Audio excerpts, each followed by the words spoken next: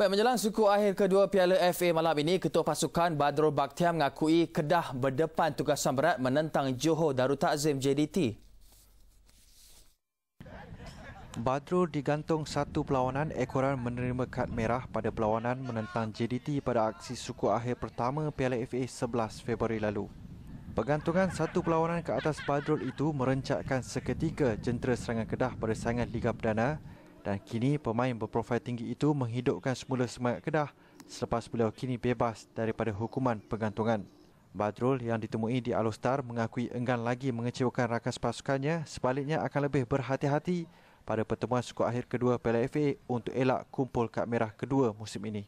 Ha, kali ini memang uh, saya akan lebih berhati-hati ya, dengan apa tindakan yang saya buat di atas pedang dan saya akan mengambil itu sebagai satu uh, semangat. Lah.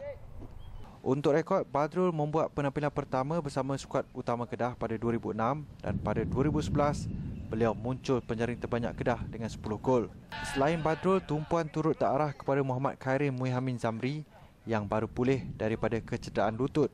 Pemain lincah ini berharap akan dapat diturunkan pada Selasa bagi membantu Kedah menewaskan JDT di halaman sendiri injet pun kalau boleh kita tolak tepi kan. Kita main untuk pasukan dan kita kena fight balik lah sebab kita kena tinggal dalam 3-1 kan dan bagi saya sendiri ni first training saya kan dan selama saya rehat ni pun saya buat recovery kat gym kan bagi strong balik lah diri saya